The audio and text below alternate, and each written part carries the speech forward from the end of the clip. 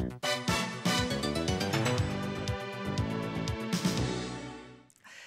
Merci de nous rejoindre sur euh, Mobility TV pour ce rendez-vous qui s'appelle Top Premium et que j'aime, moi, appeler les rencontres de l'univers de l'automobile et de la mobilité en France. Et aujourd'hui, c'est Monsieur Xavier Duchemin euh, qui nous rejoint, qui est euh, mon invité. Chez Monsieur Duchemin, qui est le directeur VO de Stellantis. Bonjour Xavier. Bonjour Laurence. Merci de nous faire l'honneur d'être là. Merci à vous, merci à vous. Xavier Duchemin, c'est quand même un parcours, un enfant Citroën. C'est-à-dire qu'on parle de vous maintenant, le directeur VO Stellantis. Mais en fait, vous êtes né dans la maison Oui, j'ai la chance d'avoir commencé il y, a, 32 ans euh, chez Citroën, et puis d'avoir vécu euh, l'aventure fantastique de PSA, et puis l'aventure de Stellantis, avec euh, beaucoup de changements, des pays, des changements de marque. Et je crois que c'est la grande force de la diversité de Stellantis, bah, d'offrir toutes ces opportunités. Votre particularité, c'est que vous sortez de l'école, vous êtes tout de suite engagé chez Citroën. Alors en fait, j'ai eu une chance incroyable, c'est que j'ai fait un stage pendant l'école chez Citroën. Et euh, le sujet était d'ailleurs assez amusant, c'était pourquoi la X se vendait pas très bien en région parisienne. Et pour ceux qui s'en souviennent, la concurrence c'était quand même la 205 et la R5, qui étaient quand même des voitures assez exceptionnelles. Et j'avais trouvé euh, à la fois l'industrie passionnante, euh, les patrons que j'avais rencontrés, la chance de, rencontrer fabuleux, et puis bah, cette marque Citroën qui était aussi une, qui est une très belle marque. Et tout ça, bah, j'ai eu la chance de pouvoir rejoindre après, euh, en étant diplômé, euh, Citroën, et j'étais très content. Qu'est-ce qui vous a attiré dans le milieu de l'automobile? Alors, il y, a le produit, bien sûr, le produit, l'histoire, les gens. Et puis, euh, c'est quand même fabuleux. On vend des produits qui sont très impactants pour les gens. C'est le deuxième achat le plus important pour les gens. Et puis, il y a un domaine d'activité, de problématiques infini. Enfin, tous les ans, j'ai mm. découvert de nouvelles choses, de nouveaux. Et, c'est, je crois, une des chances de notre industrie. Enfin, vous pouvez regarder tous les domaines, c'est très complet, c'est international, une concurrence euh, très, très, très vrai et très, très dur. Et tout ça, bah, ça, ça, pousse à l'excellence et à trouver de nouvelles solutions. Dans votre parcours, il y a évidemment des points forts. Il y a eu ces premiers contrats, puis vous êtes parti en Angleterre, puis vous avez été euh, demandé pour remonter Opel. D'ailleurs, vous avez rejoint cette maison quand elle a rejoint Stellantis. Elle n'allait pas très bien. Vous avez fait vos preuves aussi avec Opel. Donc en fait, il y a eu bah, le, coup de génie du management de, de, Carlos Tavares, hein, mm. de racheter Opel, d'avoir une marque allemande pour compléter les, les marques Peugeot, Citroën et Et euh, bah, j'ai eu la chance de faire partie de l'équipe qui est partie euh, bah, pour travailler euh, sur place. c'est une très belle marque, une des plus anciennes marques mondiales. en plus, j'ai travaillé à Rüsselsheim, qui est vraiment le, berceau de cette marque. des beaux produits. Et puis effectivement, c'était une marque qui était en difficulté depuis une quinzaine d'années, qui n'arrivait plus à gagner de l'argent. Et grâce à toutes les bonnes décisions managériales qui ont été prises, grâce aux équipes, et ben, dès au bout de six mois, euh, Opel était redevenu positif. Et puis Opel a pu euh, relancer de nouveaux produits parce que une des difficultés d'Opel, c'est qu'il n'y avait pas encore les véhicules pour la transition énergétique. Et grâce à l'apport de, PSA, ben, il y avait de nouveaux produits qui arrivaient, des voitures électriques. Et tout ça, ben, ça a permis de, continuer la belle aventure d'Opel. Comment vous y êtes pris pour remotiver les troupes à l'époque chez Opel? Je crois que c'était assez simple. Hein. Euh, on essaye de trouver les, les, leviers. Il y avait énormément de compétences.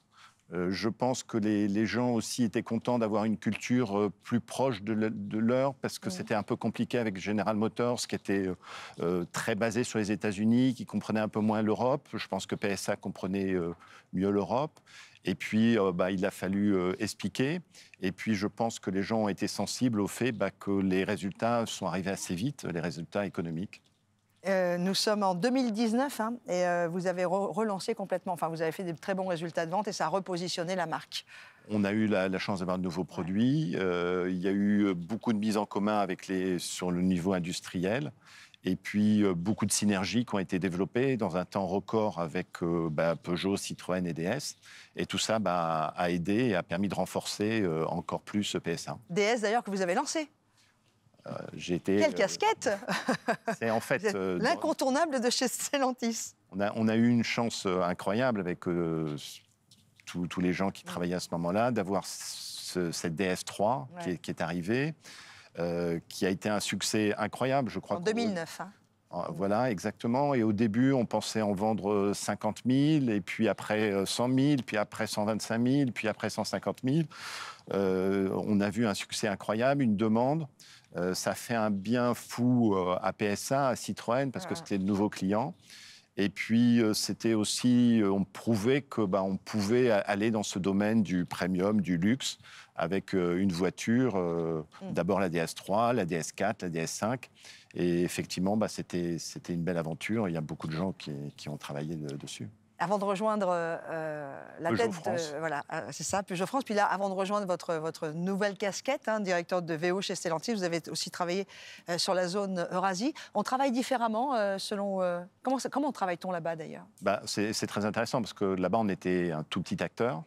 Euh, une des questions qui se posaient, c'était de trouver la solution industrielle pour produire localement, parce qu'on est très loin des, bases européennes. Et puis, il y a un certain nombre de contextes euh, de fiscalité, de taxes qui mm. poussent vraiment à produire euh, localement. Donc, bah, j'ai découvert, découvert ce que c'était qu'une une usine. J'ai eu la chance que des choix très bons stratégiques avaient été faits auparavant, notamment d'appuyer très fortement sur les véhicules utilitaires.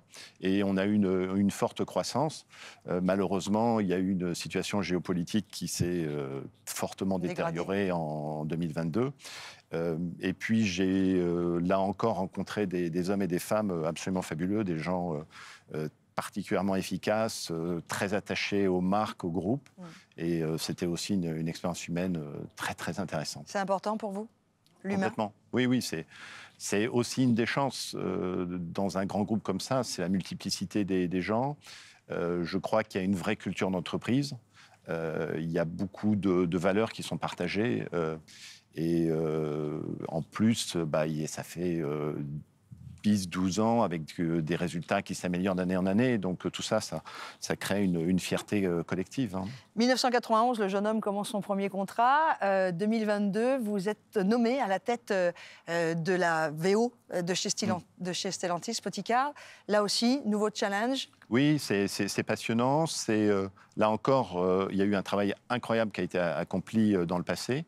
Je pense que Stellantis, c'est un des groupes qui a le plus travaillé sur le VO. Il y a d'ailleurs certains de nos concurrents qui découvrent un peu tardivement l'importance du, VO. Quand vous dites qu'il a le plus travaillé sur le VO, c'est-à-dire quelles sont les différences bah. de Stellantis par rapport aux autres? Déjà, je pense qu'on a quelque chose de très très intégré, c'est-à-dire qu'on a travaillé à la fois les stands de reconditionnement, on a une usine à Ordin, on a euh, pris une participation dans une société qui s'appelle Steamcar, qui fait le reconditionnement, on a travaillé sur la data, on a une société qui s'appelle Autobis, qui fait aussi du rachat, euh, on a euh, pris une participation dans Aramis, qui vend en direct, on a un réseau de distribution qui, vend du VO.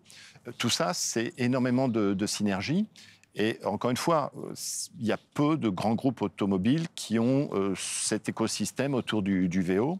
Et puis, euh, une des autres forces, c'est qu'on s'est structuré en business unit. Donc, on a notre compte de résultats, euh, on a une, vraiment une traçabilité de notre activité, des objectifs clairs. Et encore une fois, quand je discute avec des amis, d'anciens collègues qui sont dans d'autres groupes, c'est pas tout à fait la structuration qu'on peut retrouver même dans de très grands groupes euh, mondiaux. D'accord. Qu'est-ce que Xavier Duchemin, mon invité aujourd'hui, nouveau directeur de euh, la Business Unit, comment vous dites, Business la BU, la, BU VO de Stellantis va apporter Quel va être euh, Qu'est-ce que vous avez déjà commencé à apporter parce que ça fait déjà presque un an? Qu'est-ce que vous voulez apporter de plus? Déjà, il faut s'adapter au nouveau contexte. On a un contexte qui est en train de changer.